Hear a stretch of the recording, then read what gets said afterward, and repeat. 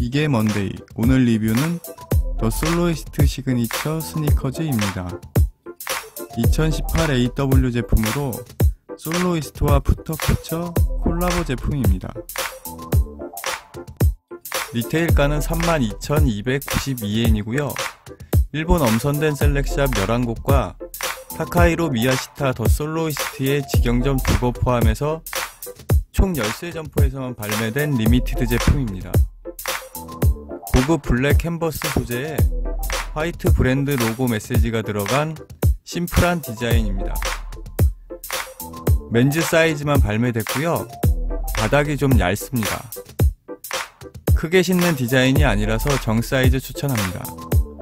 그런데 발볼 있으신 분들은 반 up하셔야 할 것 같습니다. 다양한 상품을 소개하는 이게 먼데이 TV 구독해주세요.